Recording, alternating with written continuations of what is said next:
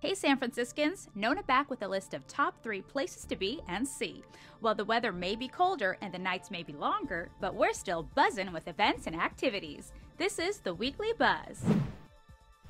This Thursday, it's Light Up the Night 2014, a free bike light campaign. The SFMTA and the Bike Coalition will be giving out thousands of free front and rear bicycle lights. Join the campaign to reach cyclists in need without lights to help ensure safety for all. Also on Thursday, head to the Cal Academy for Wild for Winter Nightlife. If you're looking for a reason to escape winter hibernation, come on down to the Cal Academy and make good use of these longer, darker nights.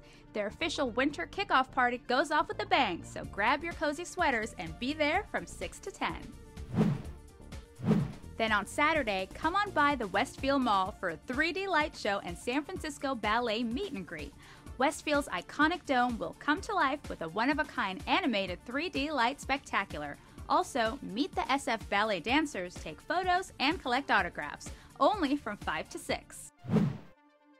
And that's the weekly buzz. For more info on these events and more, visit us at sfgovtv.org and click on Weekly Buzz. And while you're on the web, check out our YouTube page and scroll through some great original programs.